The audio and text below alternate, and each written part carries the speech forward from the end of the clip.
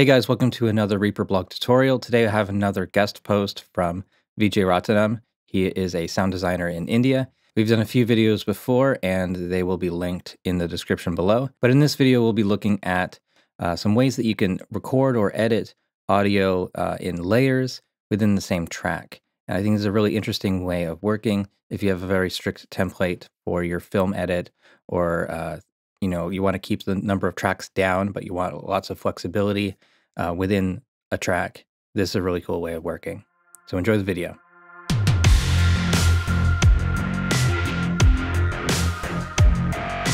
Hello everyone.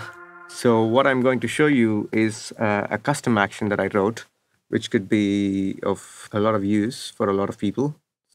Reaper has uh, free item positioning uh, and I'm sure everybody will know. So one track can have multiple items in it. Uh, what I'm about to show you is a little bit different uh, than that. It's basically uh, what I call I call it layered editing mode or layered recording mode. So let me show you what I'm uh, talking about. So let me take this sound.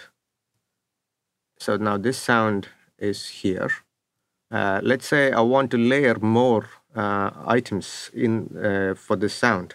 So I hit a custom action and now I can have another one of those here.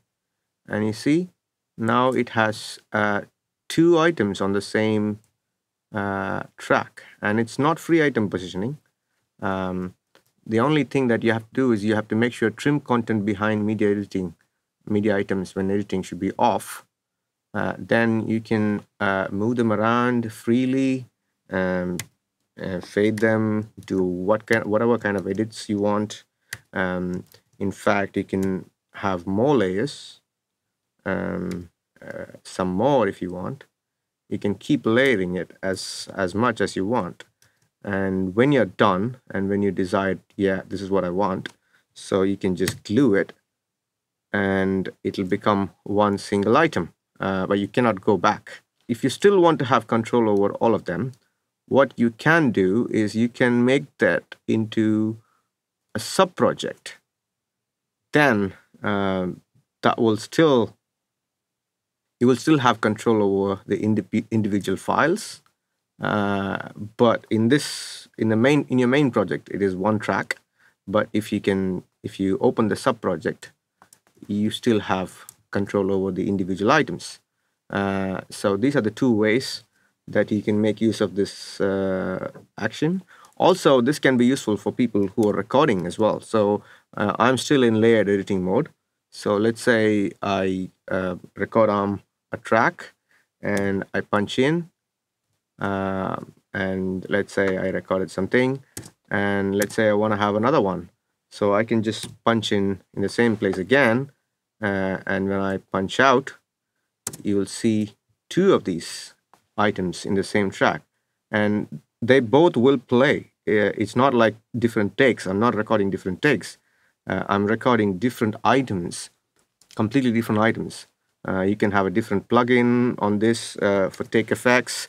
You can have another plugin on this for take effects. You can have completely different uh, EQ settings whatever you want if you see now in this item has a different EQ, they both have different volumes, um, and you can you can glue them all together, and it becomes one single file.